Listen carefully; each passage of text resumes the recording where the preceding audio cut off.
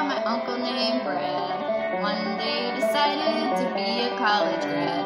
Then one day he was reading about some dude and learned that Bill Gates once got sued. For stealing, that is, Microsoft, Windows 98. Next thing you know, Brad was looking for some clear.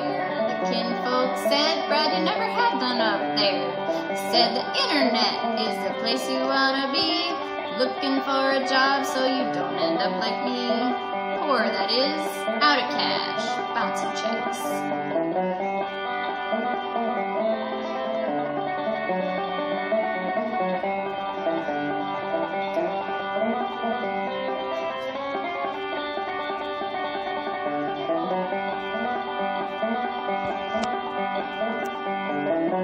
Now it's time to say hooray to Brad for all he's done.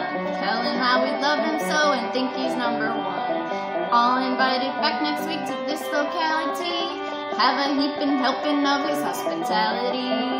Sit a spell, take his shoes off, stink his apartment up. Y'all have fun now, you hear?